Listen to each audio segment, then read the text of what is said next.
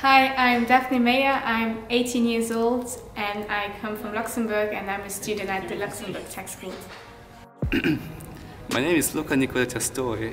I'm from Brazil, Sao Paulo. I'm 18 years old and I'm studying at the LTS. Each uh, student comes with an ID and then they make uh, teams and uh, the student that uh, had the ID, uh, he or she becomes the project manager of the team. They learn from the beginning what is artificial intelligence, what is a, an intelligent agent, the algorithms to do machine learning. I am Rocío, I am from Spain. I work in LTS, I am coach I teach uh, the students uh, artificial intelligence uh, applied to finance.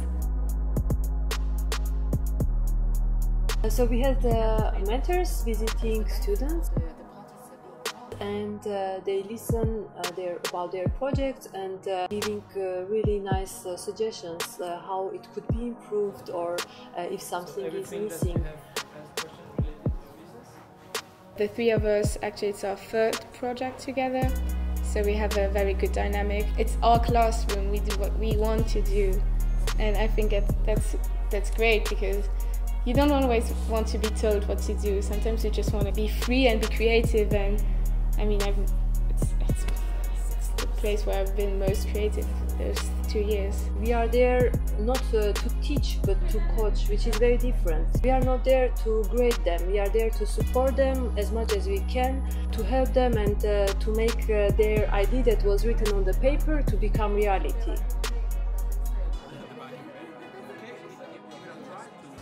Uh, I am Anush Manurgan.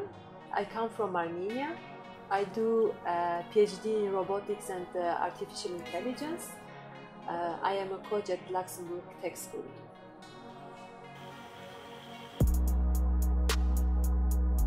They are really focused and I like also that they, they are really good friends between all of them. Fun, uh, like we had like some people of other groups coming in, changing some jokes, uh, asking how the, the projects were going. So let me start how much effort they put in their projects and how made it real. They are looking so professional. They pitch like I don't know, the, like they train so much, but no, it is just their second time that they are trying to do presentation, and uh, it, it really makes me to feel very proud.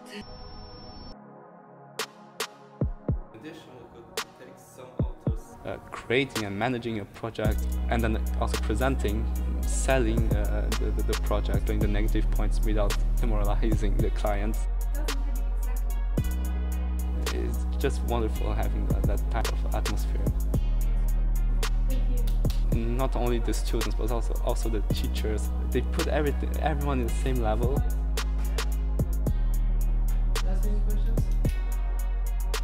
I think when you are uh, passionate about something and when you know what you do, then you have the energy. Being a coach is very enjoyable because you know that you give someone else uh, something that can be used in his or her life. It's really nice because uh, we are so excited about their projects and I cannot wait to see who will win, even though I want that everybody wins.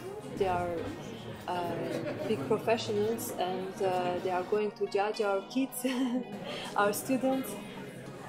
During the hackathon, they were so impressed uh, and they say that uh, many times when we have startup pitches, uh, we don't have the same quality. Not again. And we are so surprised that students between 16 to 18 ages, they can uh, speak so fluently uh, just express their emotions, their ideas, and uh, really convince us that their projects are really amazing and they can sell their products very well in just three minutes or five minutes pitches.